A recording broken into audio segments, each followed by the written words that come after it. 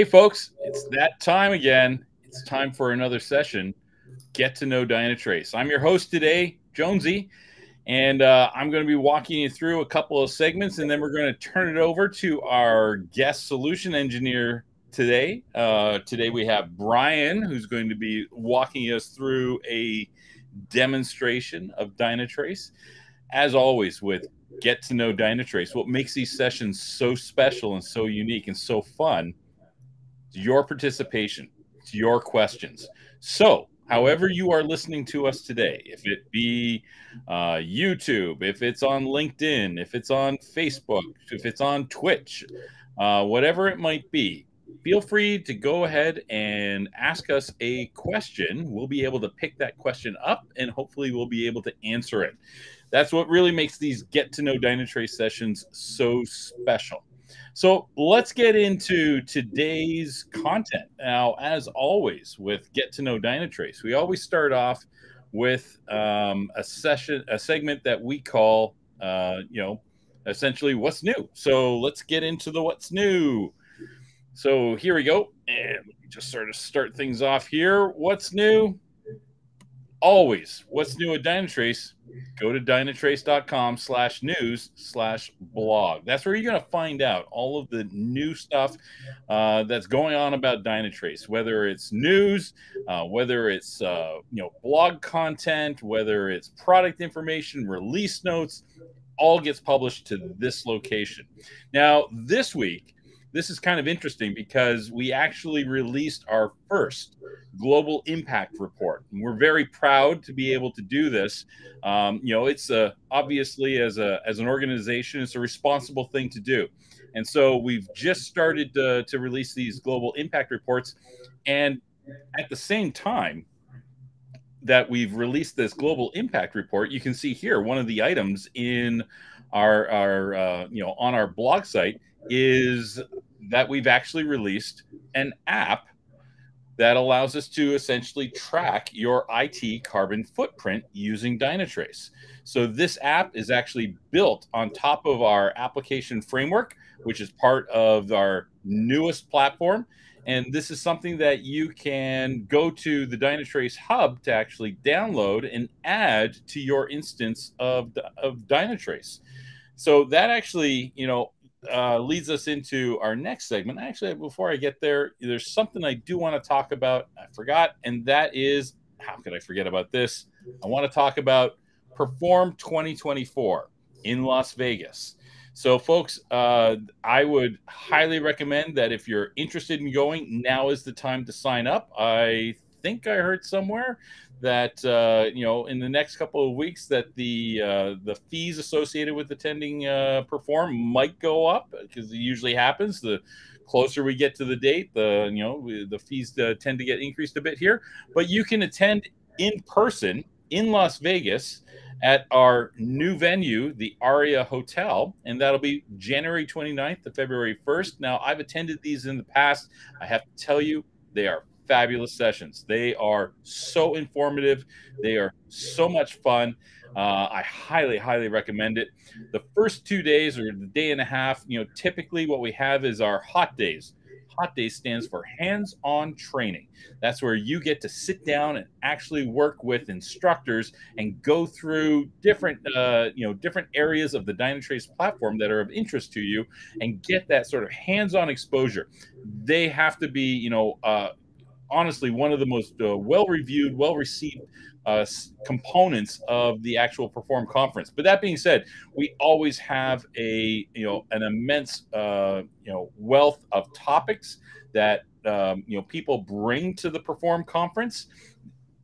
All sorts of different industry segments, whether it's banking and finance, whether it's travel, retail you're going to find content that's going to interest you and you're going to hear stories of how people have been using dynatrace to really solve you know their business problems and business needs. And we always have fabulous keynote speakers and you know our our our you know our senior people are always there and they're always engaging and so much fun and entertaining to listen to. So again I highly, highly recommend that if you can get down to Vegas to attend this year's Perform, that you do that. I'll definitely be down there, and I hope to see you there.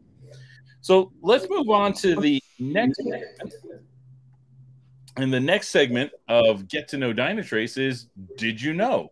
Now, I kind of alluded to this uh, in the uh, What's New segment. I, I hinted at it. I, I was going to talk about Did you know that Dynatrace provides the Dynatrace Hub? And the Hub is where you can find hundreds of different integrations into various technologies.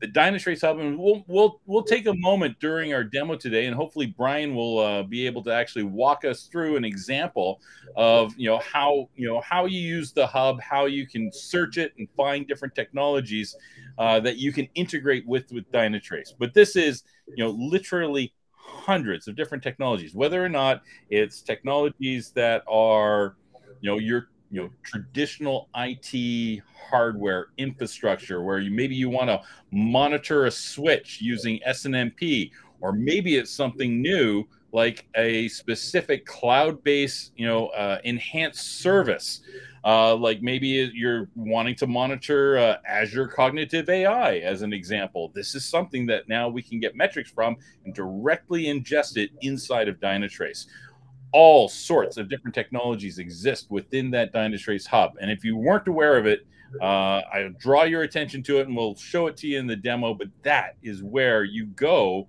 to find the technologies that you need to monitor and how you just plug them right into Dynatrace. In many cases, it's simple as just a couple of clicks, maybe filling out a couple of form items, and that's all it takes to get these integrations up and running. So uh, keep an eye open for that, the Dynatrace Hub. Now, let's move on to why everyone is here, which is the best part of Get to Know Dynatrace, and that's the demo. So it's demo time. And as I mentioned, this week our guest solutioneer is Brian. Brian, that's a uh, dude, absolutely dashing. You you look like uh, you know James Bond there, man. Thanks, Jonesy. Yeah, so for everybody uh, on the stream today, I am a SE with Dynatrace, a little bit newer to the SE team, but I actually come from our services background. So I had to come in rep services. We don't always get to be on these uh, big streams and out to everybody. So if you're wondering how to fit your, uh, you know, Dynatrace into your ecosystem and make an enterprise solution, uh, ACE Services is always there to help, you know, with best practices, implementation, and building out Dynatrace so it's a solution that works across your organization for you. That's fabulous. All right, well, Brian, we're gonna we're gonna let you get set up, and while you're doing that, I can see that we've got people coming in from all over the globe. Like we we have now a global audience. This is fabulous. Welcome everyone. Thank you very much for attending. Remember, as I mentioned at the very beginning of today's uh, today's segment, um, what makes Get to Know Dynatrace so special are going to be your questions. So let's get into the demo. Feel free to ask questions. We'll take breaks occasionally through the demo to answer those questions. And uh, with that, hey, Brian, the floor is yours. Perfect. Well, welcome everybody. So for those of us that you know know Dynatrace well, um, I'm happy to have you here. If you don't, hopefully we can walk through and get you introduced today. So right now, what I'm showing is the Smartscape. So with Dynatrace, we have a technology called the One Agent that provides full stack observability of your ecosystem, of your environment. And so the whole purpose of Dynatrace is to get that full observability of your environment so that we can understand when transactions aren't working well, when things go wrong in your environment, where's the problem at, and we can provide answers for you instead of just, you know, data on glass. And so when we deploy the agent into your environment directly, we're going to be able to go out and auto discover things in your environment. So when we deploy at the host level, we're going to get that host information, rich metadata that I'll show as we move through the demo today. And then we're going to be able to see the processes on that host, the transactions that are handled, and where those hosts are running. And this is agnostic of, you know, we can do Linux, Windows. It doesn't matter if we're deployed in AWS, on prem, Azure. The beauty of the One Agent and the power of it, and the reason why we call it part of our secret sauce, is because it can be deployed anywhere and it's going to auto discover, instrument, and get that full stack visibility right out of the box. And with the Smartscape topology, Dynatrace is actually going to map those interactions within your environment so that we can see, you know, what process is talking to what process, what requests is it handling, how is that request moving through your environment, and how is it being affected each step of the way, or how is a host performing, and where is that host at in your uh, data centers, in your ecosystem, and how does it interact with other things. So as we move forward and we deploy the agent, we're going to automatically discover those entities. And when things go wrong, we're going to be able to analyze them with the Davis AI. And so as I walk through today, I'll point out, you know, where, you know, that what we grab, the information that we're able to see, but I love starting with this problem card here because it really shows the power and the value of Dynatrace, right? Hey, Brian. Yeah. Brian, uh, just one, one, quick second. You know, I, I, always find that, you know, when we talk about Dynatrace, we often pick up uh, Dynatrace jargon, right? And, and yeah. we use terms that maybe people who are new to Dynatrace, you know, aren't really familiar with. I'm going to throw this one out. Uh, how would you describe, uh, you use the term entity right? Inside yeah. of the context of Dynatrace. How would you describe an entity? What do we yeah. mean by that? So when we're looking at impacted entities, it can mean a number of things. So for this problem card here, we have a little bit of a smaller visual resolution path, and I'll kind of talk about this, but it's a great way to show the entities that are affected, right? Entities can be things from processes in our environment, hosts can be an entity, uh, the requests, the services that handle those requests, like a web request service, that's an entity in our environment. And even those front end applications that we're monitoring, whether it's a web application or a mobile app, those will be entities as well. So it can be a few different things, but it's it's the information that the agent's grabbing from different items. So a host, a process, you know, a front end application. And then we even get into, we have synthetic monitors as well. So that can be an entity and that will go out and automatically test your application, or we can just run a simple HTTP monitor. And, and do I have to do anything to configure these entities or do they just automatically get discovered? Yeah, so when we look at the Smartscape, it's a great way to understand that with this agent deployment, we're getting everything from that host and the processes down to the deep code level that I'll show, and then all the way to the front end where we are tracking how users interact with the application. That all happens with the one agent automatically out of the box. Wow, that's fabulous. All right, I'm sorry I interrupted you. We were talking about problems. Yeah, so when we're looking at problems, right? Dynatrace, this is the value and the beauty of the AI right? We have dashboards, and I'll get to those lovely things. But when we talk about, you know, I don't want to sit in front of a dashboard and look at, you know, green and red screens and figure out what's going up or down. I want a tool that's going to be able to provide me answers out of the box. And that's the beauty of Davis. So we've talked about all those entities that we're looking at with the one agent, mapping them with Smartscape. We have Davis in the background actually analyzing all of those to understand how they interact and then be able to baseline and look at those and say, all right, well, something's wrong here. And not just what's wrong, but when we look at our visual resolution path and we see the different events that occurred. So here at the top, we have eight ongoing events. So sometimes we see visual resolution paths with 30, 40 ongoing events, right? In a, you know, Gen 1 monitoring solution where we're just looking at metrics, we're just looking at you know a single baseline, those might be individual alerts. But Davis is going out and analyzing those and saying, hey, these are all connected. We're building this problem screen out for you, this visual resolution path, so you don't have to. And we're going to tell you how they're connected and what went wrong as we step through that. And with the problem, we're going to be able to quickly understand what's affected. So, did I have any SLOs affected? Did I have any you know specific applications or services? We can see what's the business impact. How many users are affected by this problem? So here we have 145, and we can look at the affected service calls, and we can actually step into you know what did it look like for those customers as they were impacted. And we have our impacted entities down below but we can go right into our root cause and analyze the failure degradation that Dynatrace pointed out.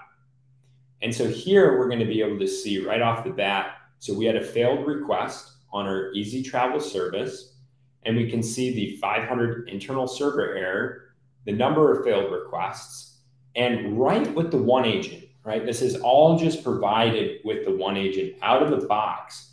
We're going to be able to look at the stack traces of exceptions and begin to understand what happened. Along with that, the agent is pulling logs in from the application, from the host itself, from the process, and we're looking at okay, you know, what connected logs do we have that happened when that problem occurred? And so here we can actually see up above where we were able to get the exception, right, that occurred, the message, the error, but we can actually go into the detailed logs that somebody provide here, and we can see that same item that we're pulling out and where it occurred. So in just you know two minutes, I'm able to get an alert from Dynatrace. I'm able to step in, look at what's the impact of that problem, and Davis has analyzed how that occurred, and then we're going to be able to understand where that happened. And so I can actually step through the root cause here and dive into okay, here's my service identified with the agent and I can actually look at, you know, where was the failure rate? And so we could pull up store booking. So, so hold, hold on while that's coming up there, Brian. So we've got a question. And the question was without logs, is there any way to identify the source of the 500 error or the reasons behind it? Yeah, that's a great question. So, and the beauty of Dynatrace and, you know, observability the whole goal is, you know, we want metrics, logs, and traces. And metrics are a great way of indicating what's going on in your environment. You know, that's what we want to see on a dashboard. That's what we want to report on. Logs are a great way of understanding, you know, what happened from a developer's point of view, what's getting sent out. But traces are kind of, I like to call them the source of truth. So here, we're not actually pulling from the logs. We're looking at the code level and we're understanding as this request moves through your environment, what was the actual exception that occurred? And so I can pull out, and I'll get to our nice error screen here in a second, but I can go deep into that code level and understand what classes and methods did, you know, this request move through and where did the problem occur? And so right here without logs, I'm actually going to be able to see this 500 internal server error and the exception message. Now, logs might give me a little bit more in-depth view around that exception message, right? But with the one agent and with PurePath or distributed traces down at that level, we're going to be able to see where that happened. All right, perfect. Thanks, Brian. And that was a great question, folks. Remember, feel free to start asking those questions. That's what we're here for today. So, Brian, keep going. Yeah. So, from the trace itself, we're going to be able to walk through how that request moved through environment. So I showcased, you know, the code level, the errors, but really a lot of the beauty of Dynatrace and of observability is the information that we're grabbing, right? This rich metadata that we're grabbing, not only on the entities, but the requests themselves understand what's going on and what's happening. I can look at the timing, I can look at the threads, but you know, maybe I want to know where this happened. I can actually go in and look at the process itself and begin to understand all right, what happened at this process, right? Or what is going on from here? And there's a few things I want to step out of the problem right now and talk about, you know, what are we getting at a process level with Dynatrace? And with the one agent, right, we, we constantly are going back to this auto discovery. And it's just so powerful because with that, we're getting all of this rich metadata down here that we can actually pull up into tags and then use that to filter and organize the environment. So the value of that is when a problem happens, I'm actually able to go in and say, all right, well, I need to know what application that problem was a part of. I might want to know, you know, who's in charge of that application. And I also want to know a few different items.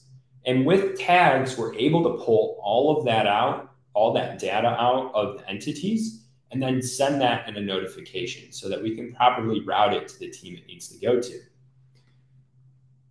Uh, from a metric standpoint, at a process level, we're looking at things like system performance, JVM metrics. So we're going to be able to understand the performance of the JVM. One of my favorite things with Java is the ability to actually profile and look at, you know, where we're allocating memory. It's very powerful. Over here on the right, I gotta mention security. So we all know the log4j vulnerability that happened last year. And that was a big proponent of us, you know, a big proponent of our security standpoint. We're able to step in and at a process and host level look at with the agent any security vulnerabilities that are in your environment because we're right there running with you. So instead of scanning, you know, your code before you release it, which I think many people will still do, we can actually look in runtime if there's any vulnerabilities out there. And we're going to be able to not just give you, okay, what's the security score um, that's provided by the industry, but with Davis, with the Smartscape, we have such a good understanding of your environment. We actually generate our own Davis security score. So we're going to look at things like, is that publicly exposed? Is there reachable data assets? So if you have multiple vulnerabilities in your environment, you know, maybe I got one on a host over here, but that's closed off on-prem and it's a dev host, right? I don't need to touch that. I need to touch, you know, the production one that it has public internet exposure, reachable data assets, a higher de- uh, data security score. And from there, I'll be able to triage and quickly move through those. So with Dynatrace, we're not just focused on, you know, the APM portion as the application performance, but we're also focused on the security aspect as well. And if we move from here to the host, we're going to be able to get more of a infrastructure view on what's happening. And so this host is running in AWS. Once again, with the agent and our AWS integration, we're able to actually go in and pull a lot of rich metadata about this host. And that goes back to, you know, the organizational piece of observability, right? as we manage our ecosystem, all these entities that we have, we want to be able to say where are things at, who owns what, and the important parts of those. And so, what we're actually doing here is not only are we looking at the host performance from an agent perspective, which I'll dive into what we get there, but we're actually pulling out as well specific AWS metrics. So, we are looking at what AWS sees and then what the agent sees as well. And so under host performance, we're going to get simple things like CPU usage, memory usage, but we're actually going to be able to understand latency and network as well. And I can scroll down and we can see automatically what's running on this host, what technologies do I have. And so if I want to look at, you know, the Apache uh, processes that I have running, I can just click here and it's going to filter on all the Apache processes that I have. So I'll actually be able to go in and see, all right, these are all the app processes that I have on this host. Here's their performance and here's what's happening. And we can pull that right out into a dashboard and look at it from there as well. So whether you're on the infrastructure side or the application side, we're going to be able to provide visibility into that stack and show you, okay, here's where things are going wrong. And Davis is going to point you right to the root cause of that. So, so Brian, you know, earlier this week, I was on site with a, a major US bank, and we got to ask the question wait a second, how do I, how do I tell if, um, you know, a method that's running hot or if I got a trace that's taking up a lot of compute resources, how do I how do I tell what's going on at the host level and the process level? Like, do I have to have separate agents to do this, or you know, how do, how do you how does that actually work? Yeah, so everything is provided directly from the one agent. So when I go to the distributed trace, and I look at, all right, let's take one of these that's running a little bit longer. So we'll do this git enable plugins. I'm going to be able to understand the timing of this uh, actual method that occurred. and I'll be able to go into the response time hotspots of that method. So I'm going to be able to see the code execution, click down into the method hotspots. So that one didn't pull up exactly what I wanted, but we'll be able to understand, all right, if I have high CPU consumption and I click into this hotspot, what's happening, right? And that from, you know, that point of view, we're looking at the actual code, the request, but with the same agent, we're able to pull out and look at, you know, if I go to this service here, and now I'm going to get rid of this problem time frame, I can actually go through each level as we did before, and I can look at the process and understand the system performance, right? Let's say I just want to look at, you know, detailed CPU consumption. And if I want to look at it from a process level, I can pull up that method hotspots and I'm going to be able to see, okay, now here we have the method hotspot of that process, right? Of that specific service that's running. We can see what methods are breaking that down. And then if I want to go back here and look at, okay, let's go to the host itself. And so now we're on a different, we're on a Windows host.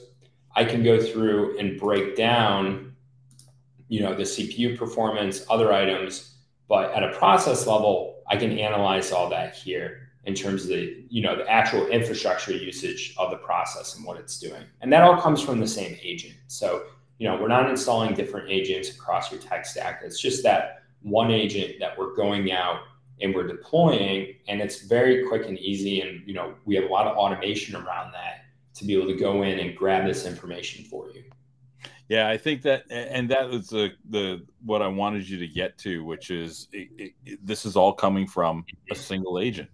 Um, you know, this conversation I was having, they were kind of incredulous that you know a single agent could actually pull out all of these different metrics coming from all of these different sources. You know, I've got my trace metrics, I've got my metrics off my process, I've got my host level metrics, and they're all interrelated. I'm not skipping from one to another. It's all there. So thanks for thanks for walking through that. I, I yeah. keep going, keep going, Brian.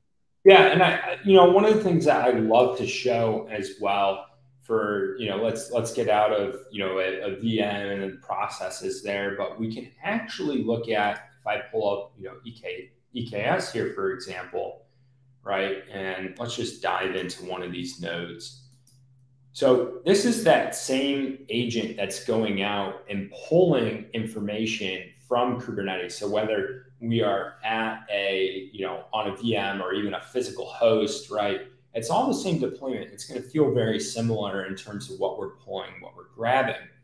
And so we're actually able to go in and take, you know, one of these pods, for example, and we're going to be able to understand off the bat, all right, you know, with the Kubernetes integration and the one agent to combine, you know, some of the data that we get about it, we're going to be able to see in Kubernetes, we're going to inject directly into those pods and look at what's happening in there as well.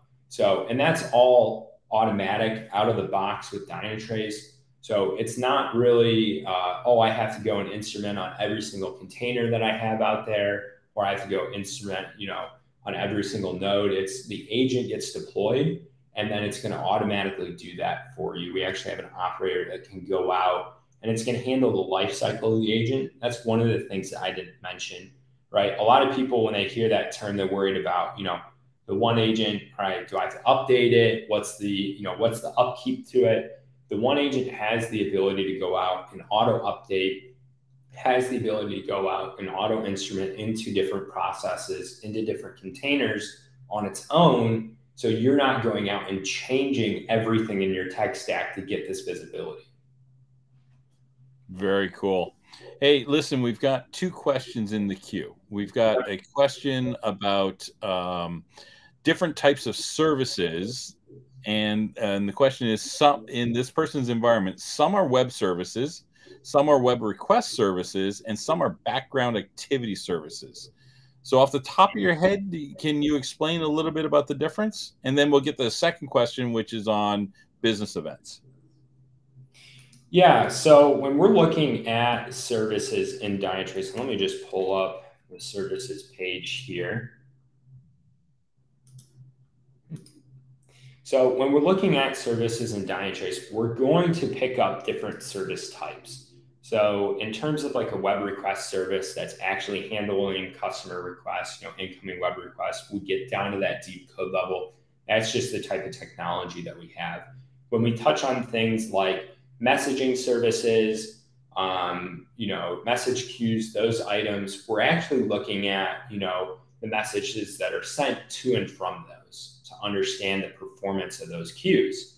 If we're talking about like background activity specifically, that's just specific to your application in terms of okay, those are just rec- you know requests executed on a background thread that we've identified and instrumented on.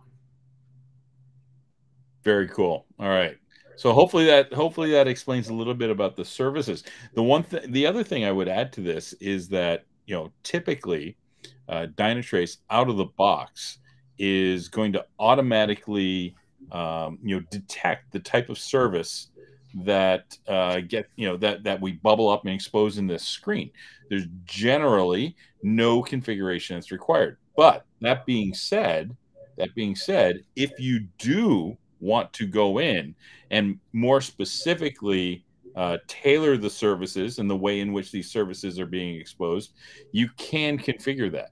That is a configurable option. So you can go in and you could create custom entry points for services if there's a specific method or a specific class that's not associated necessarily with a traditional web request you can go in and actually create a custom service entry point and then that service starts to show up inside of dynatrace. So for the most part this happens absolutely automatically but you also have the option to go in and configure and tailor this to your needs it, and I saw there was a comment there from Dane. I love the namespace selector from the Cloud Native Full Stack flavor. it does save lives. That's a great quote. Thank you very much for that. That's awesome. Uh, okay, so we had another question, uh, which was around. Oh wait, hold on a second here. Uh, can we transfer summary data we see at trace level into the Dynatrace dashboards? Uh, so can we see request attributes? So yeah. go ahead. Brian? Yeah, so let me pull up a, a, trace here. I've been jumping around a lot of screens. So let's just take a second to pull up a specific trace. And then, so this one does have a request attribute on it, and it just pulled it up there. So when we're looking at summary data on a specific trace, there are different items that we can pull out, and you can view in the documentation the specific set of, we call them request attributes. So on that request, you know, there's specific items that we can pull out and actually showcase. So let's take, you know, on here, for example, if there's a specific, you know, response header or something that I want to pull and look at, you know, and then I want to filter requests off of that, you know, I can actually pull that into a dashboard. A great example of this is I had a customer who, you know, each payment, it was, uh, you know, a payment system and every payment that came through had a specific, uh, its own specific ID on it. And so they wanted to be able to search for that ID. And we just created a request attribute on that. And then as those payments moved through their system, we were able to pull out where it went specifically and what happened to each payment. Or if they had to go back and look at one that got complained about, they could search that and pull exactly what happened. And you'd be able to put that on a dashboard. So, so Brian, this actually this probably leads into our next question, which would be a, which is going to be about business events. Mm-hmm. Uh, but before we even get there, okay, so the request attributes, you know, the um, you know, it's a very useful feature. Uh, it's an incredibly useful capability of being able to go in and look at a specific piece of of business information that I want to pull out and I want to be able to track. But the challenge with it, the challenge with it is what happens when you get into a situation where the value for those attributes introduces a ridiculously high cardinality. Yeah. That's where things become really sort of challenging. And, and what do I mean by cardinality in this particular case? So the number of options, the number of results is you know is, is, expansive. So like when we've got like a lot of different types of uh, of different attributes or attribute values in this case that can lead to cardinality concerns. And so that that shows up when you try charting something like and this is common sense. If i yeah. try charting something that has um, you know a thousand different values over a period of time uh, it's going to be very hard to read that. It's going to be very hard to understand that. And you know, over the years, we've understood that organizations have challenges, especially when we start talking about masses of massive amounts of cardinality. And one of the things that we've been working on are business events. Now, Dane had, I think it was Dane had asked a question earlier on around business events, and I see there's a couple of other ones. Like uh, Tushar was asking about um, you know, how are business events different from say like normal events? Um, mm-hmm. let's start there, and then let's get in and get into Dane's question. If we can, let's show an example of what you know, sort of the business events looks like, right? Yeah. So when we're talking about business events, or well, let's go back to like this uh, Kubernetes, for example. Yeah. So, let's start. Let's start here and di- differentiate between a mm-hmm. business event and an event. Yeah. So when we're talking about like the one agent when we deploy to Kubernetes and we use the integration as well, or uh, when we're deployed on a process and the process goes out and crashes or restarts, or you deploy a pod and it fails, you know, or readiness probe fails, right? Those are types of events that occur during deployments, that occur as you know things are running. And those kinds of things, obviously, we want to pull in, we want to look at, we want to analyze those, but they're connected to a specific entity, right? With business events, what we're able to do is we're actually able to go in and pull out, you know, just what it sounds like, specific key pieces to the business where we're not pulling from, you know, uh, a distributed trace request attribute, but a actual event that occurred and we're tracking that. So what we can see here is a, we call this our easyTrade application. So uh, it's just a mock application that's going out and buying and selling stock. And we're going and we're tracking all of those items with business events. And so what we can see right here in the top, let's just look at this buy one. So just a simple, I can open this with uh, view query and it's going to pull out our DQL. So those familiar to uh, Grail and the newer Dynatrace feature, of Grail and DQL, we're actually able to go and query the business events that we post into Dynatrace and look for specific things like right here in just five lines. I'm able to pull out from all my events, okay, I want to see which ones are from easyTrade specifically. I then want to look at the event type, right, which is a buy. And then I want to make sure, okay, the amount's not null. I don't need any, you know, zeros or anything. And then I'm just going to summarize in this last line here the actual amount that I bought. And so I can go ahead and run this query, and it's just going to give us this single value of 440 because we summarized it with the count. And if I get rid of this right here, and then let's run that query again. These are the actual, this is the raw data of those business events. So we're actually going in and we're looking at the event that happened. You know, we have things like the price here. We're able to understand where that happened and what happened. And in this case, we're just taking all of that data from this table and we're summarizing it with one additional line to be able to provide you a single value that we can then go actually place onto a dashboard which I just exited out of there. So I'll go back and open that up. So that we're actually able to go out and pull onto a dashboard. Now we can see from here that we're able to pull a lot of different items and visualize them in a lot of different ways. So whether it's a specific table where we want to pull out, you know, who's buying what, what's the amount that they're buying, or if we want to look from, you know, a actual top list, you know, type view for the top trade volume of account ID and see who is executing the most amount of trades. We can do things like that as well. So there's a couple of uh, just because we're on this topic, there's a couple of follow up questions that have sort of uh, you know come up here.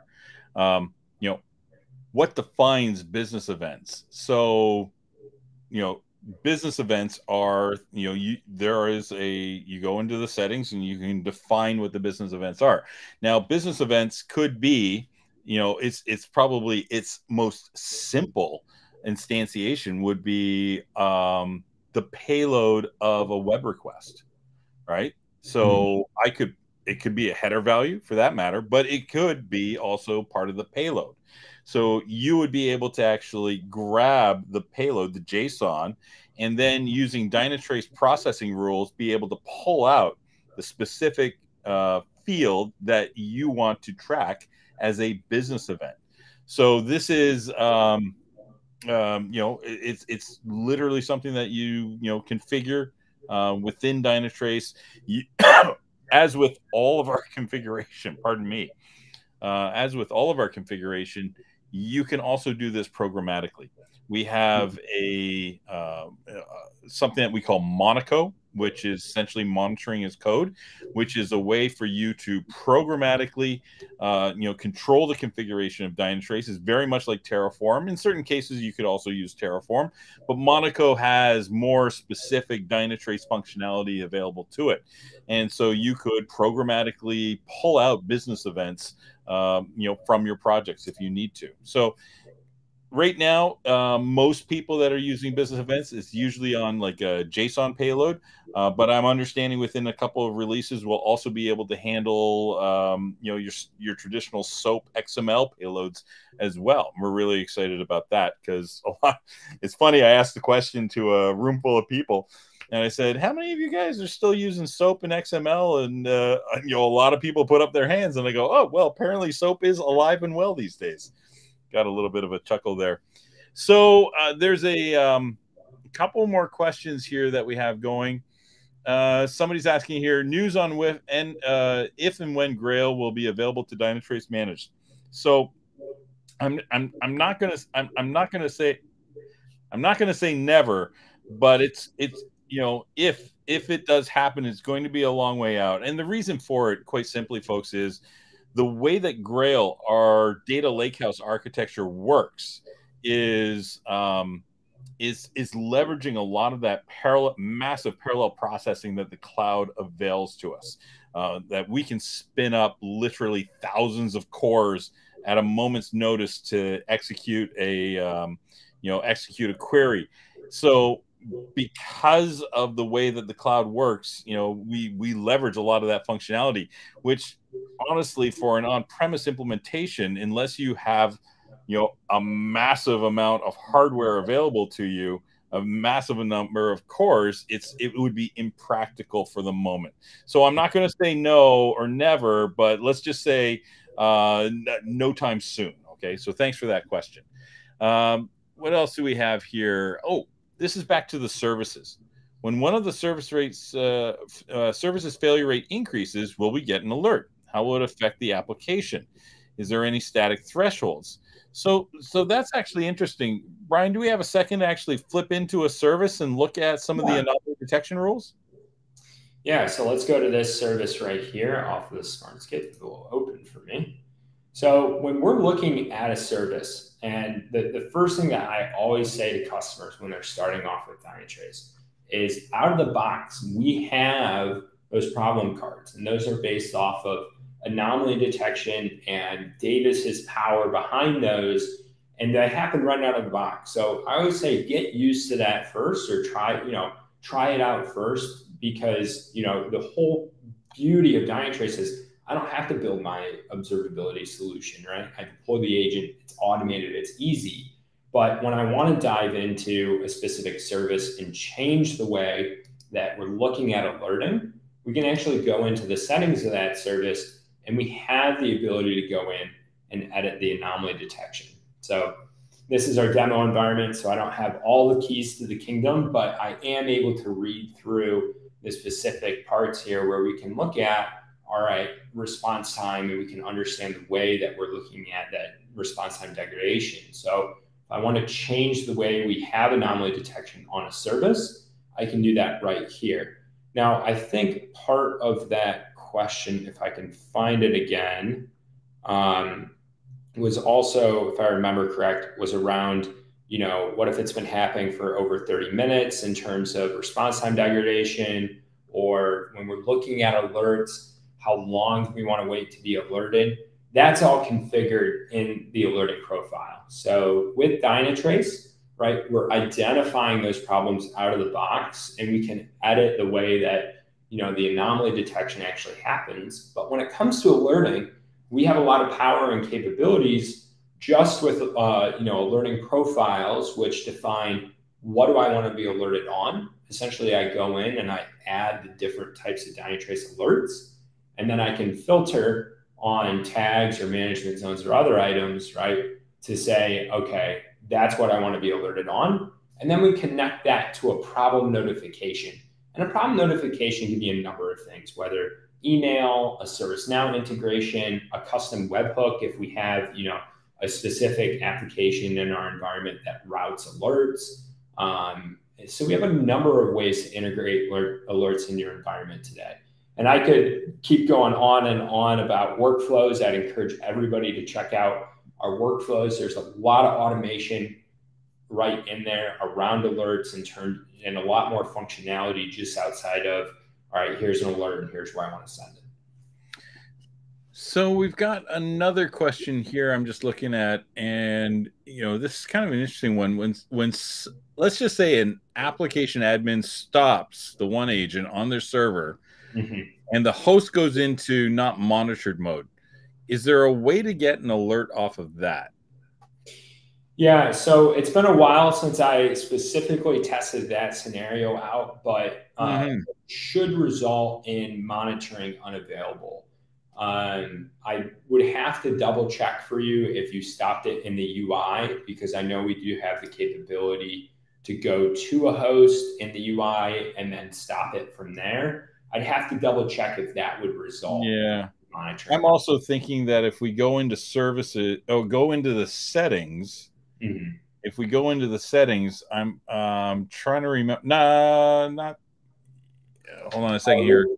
Not on the host settings, but if we go into the um, anomaly detection rules, and I believe there's something new now called metric events.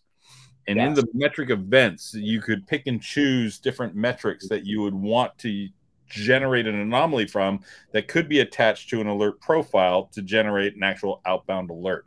I have feeling that it's probably going to be somewhere in there. Yeah, so metric events are a great custom way of saying if I want to, eh, you know, for whatever reason, I want to take a specific metric and then create an alert off of that. You know, a very simple example is let's just say for whatever reason I want CPU usage at 40%, send me an alert. I'd be able to put that in here and then that would be sent as a custom event in Dynatrace, a custom alert to you. Yep.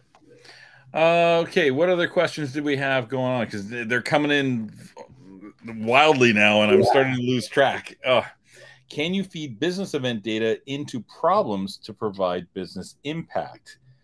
Oh, who's leading? Who's asking these leading questions? These are the types. Oh, actually, so I'm, I'm gonna I'm gonna I'm gonna take a, a little bit of a pass on that question. The reason being is is that I don't want to spoil some of the surprises that we have coming down the pipe in uh, our Perform conference. Let's just say that that is a very astute question, and it is something that we are absolutely considering. And that's you know that's the that type of announcement would be very exciting, and that's the type of thing that we would announce at uh, at Perform. I, I, saw something else flash up on the screen, but I apologize. I missed it. Uh, oh, will we? It can, we can, can demo. We, let's do that. Yeah, absolutely. Yeah. So here's the carbon footprint impact, and once again, this is based off of business events, and it's built on our new App Engine. So with App Engine, we're able to quickly build out, you know, views like this that are going to show you what's the actual carbon footprint of your applications.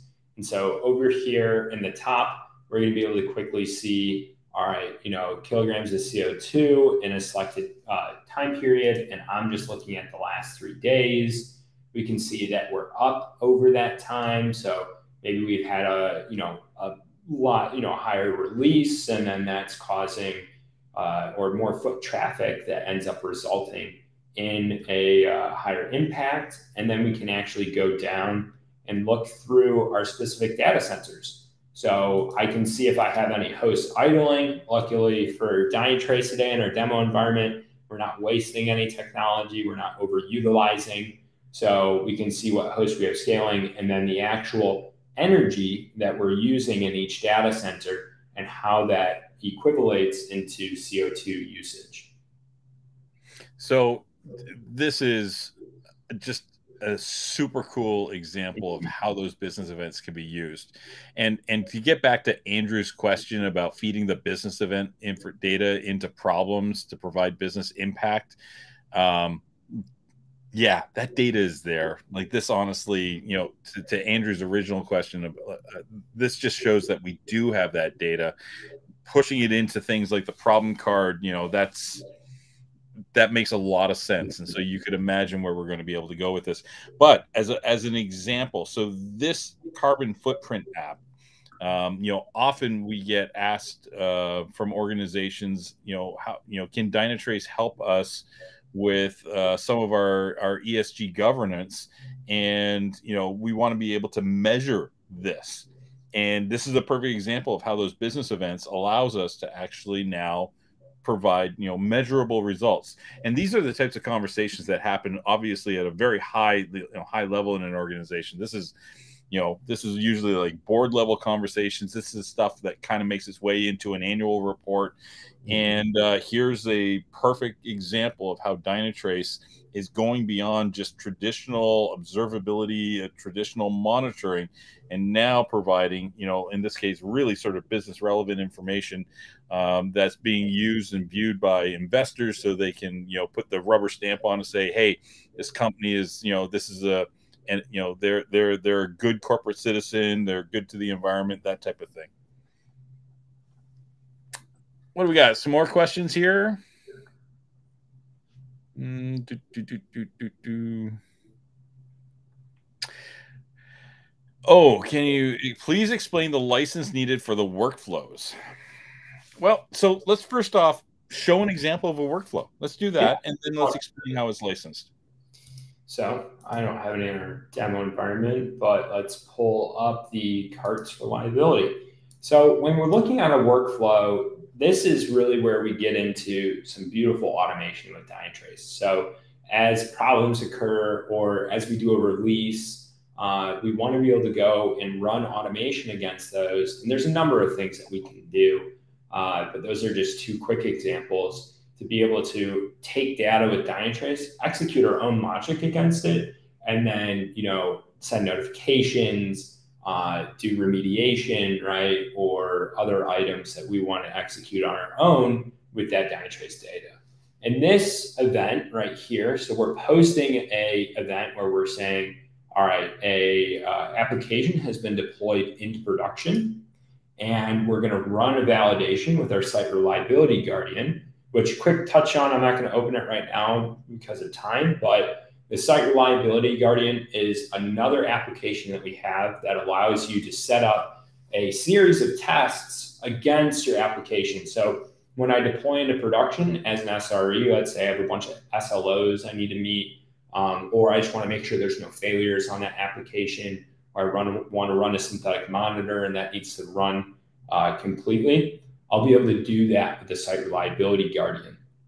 So in a production deployment, I'm going to go out and actually run this validation, which then is going to, you know, pass, fail. There might be a warning or uh, information that comes out of it. I'm going to go through and actually traverse our Smartscape to pull out the specific entities if there was a problem in that validation. And then off of that, with that entity, I'm going to take it and figure out, all right, who owns it? So we're going to pull from that, uh, you know, the previous uh, JS code that we ran, the logic that we ran. We're going to pull out whatever entity it produced, and we'll get the owner, we'll get the contact details, and then we're going to send a Slack message. So if the site reliability and guardian said, hey, we had a failure, and we had a problem with this entity, we're actually going to be able to go out and pull that, get the owner for it, their de- contact details, and send them a detailed Slack message of what happened. Very cool. So, so folks, I, I, wanted Brian to first explain what the workflows were, and then let's talk a little bit about the licensing. Licensing for the workflows very straightforward. A workflow costs essentially a hundred dollars a month, right? As a matter of fact, when you do the math on it, if you look at it, it's basically about 14 cents an hour for a workflow to run. So, you know, is workflows for everything? No, not necessarily. Uh, but if you, this is the way that uh, I'm, I'm sort of phrasing it to people. If you have a task that could be automated, and it takes a developer more than two hours a month to do that, that's a good candidate for one of these workflows. Like at, at that point, it just, you know, it, it literally, you know, it pays for itself. So it's, uh, you know, it's, it's very simple workflow, hundred dollars a month per workflow. Again, like I said, don't use it for absolutely everything. You use it for those scenarios where, you know, if you got some process, some task that takes someone a couple of hours a month is probably a good candidate for using one of these workflows for. Yeah, we just had a great customer story uh, recently come out where every Thursday night they were logging on from like seven to 10 o'clock, going out and testing their application and seeing whether it failed. They would sit there through the test and they turned that into a workflow, not only allowing them to stay home at night and not be on their laptop any more than they need to, but also saving the developers time. And if it did fail or if it, you know a warning went off, they would just get a message for that and then they could go remediate it or you know have a, a workflow that auto remediates it if there was a step to take. That's a great example. So thank you very much for that, Brian. Hey, folks, listen, it's the top of the hour. And uh, as always, you know, what makes these sessions great were your questions, and you really hit us with a lot of questions this week, and we really appreciate it. Those are great questions. Thank you very much for that. Brian, you did a fabulous job walking us through Dynatrace. Really appreciate you coming out. We're going to have you out again at some point in the future. And and folks, uh, I invite you if you haven't tried Dynatrace, feel free to go to dynatrace.com and sign up for a free trial. It's not going to do anything like ask you something goofy like for a credit card or something like that literally you can sign up. We'll create an automated tenant for you and you can just go ahead and start deploying those one agents. So feel free to take dynatrace out for a spin. And we'll we'll be back in a couple of weeks. I think it's october 5th is the next edition of get to know dynatrace. And i'll close off with uh, you know a final plug hey, if you're interested in coming to perform, now's the time to get signed up. So do yourself a favor, save a few dollars, get signed up for Dynatrace Perform now. And with that, folks, thank you very much for your time. Brian, thank you. You did an awesome job. for having me. Right on. And uh, folks, we'll see you next time on the next edition of Get to Know Dynatrace.